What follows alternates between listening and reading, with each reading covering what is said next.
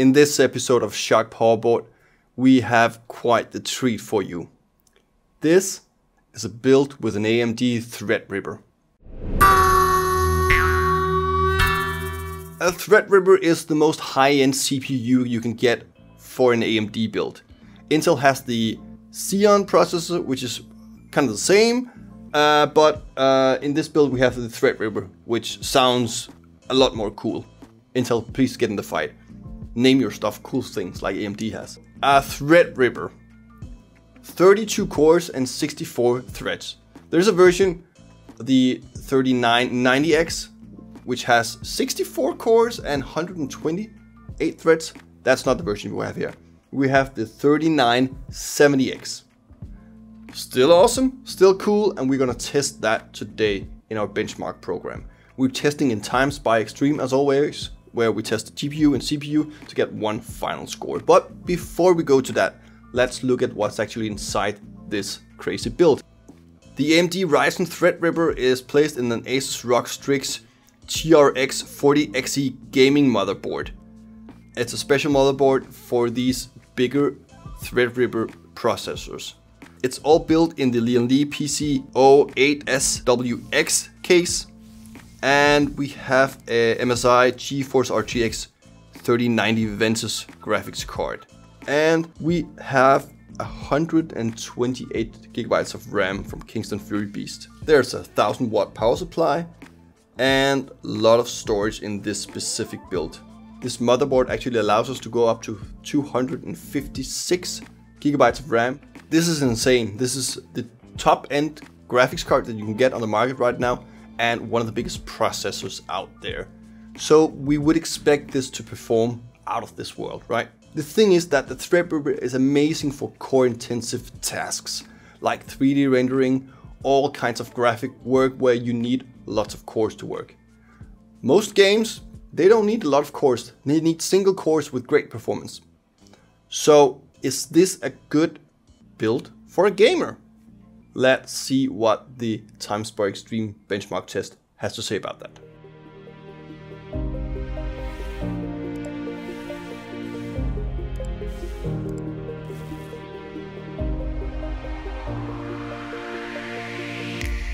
So we finished the test and as you would expect, the GPU score is amazing with over 15,000, which is insane in TimeSpy Extreme.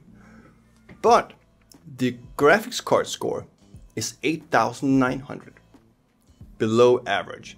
The last time we tested a machine with 3090 graphics card, we ended up with a score of around 9,600 on the graphics score. So we are scoring below average on the graphics card.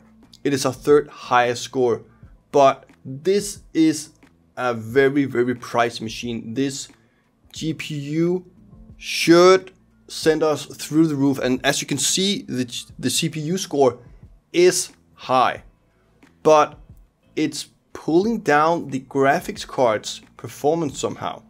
Now we did many, many tests on this, uh, and we even saw scores uh, lower than this. And we made sure that everything was as it should be. The motherboard was running on uh, PCI 4. We uh, changed the graphics card also to different brands to make sure it wasn't a, a, a bad uh, case we had here. We changed the RAM, uh, added more, added less to figure out if there was any issues with the hardware in our Current build, there was none. We've explored uh, all options to see if there's a reason why the graphics card is performing worse than we would see in a regular build. And our, I think that we are probably looking at a case where the core, the Threadripper, is actually pulling too many resources, so it doesn't allow the graphics card to uh, to actually perform as well as it should. I think that's the might be the the, the, the answer to this uh, interesting interesting case. So is this a bad computer for gaming?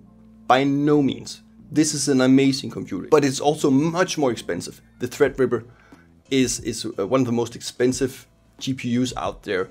So so the cost to performance ratio is not amazing. But many people talk about Threadripper as being bad for gaming. It's not bad for gaming. It's just it's just that you can you can find some very high-end CPUs that are better for gaming and less expensive. So obviously you would choose an i9 12900K processor for gaming uh, instead of this one.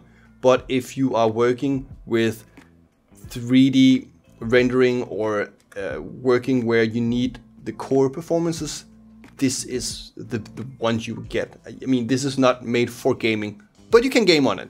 If you need a build that has to have many, many cores working like this, and you still want to game, you can do it. This is this is the build for you. But it is very specific. It is very uh, very niche case. I was surprised when I when I got this computer in. I had expected it to perform through the roof and was our number one machine uh, from the get-go, but um, it wasn't so apparently. So what build would you like to see us test next time? Are we looking at something crazier than this? Is it uh, should we test some of the worst computers? What what what do you guys want to see? We're always open for suggestions. Thanks for watching and thanks for liking and subscribing and sharing the videos. We really, really appreciate it. We appreciate every one of you. You're awesome.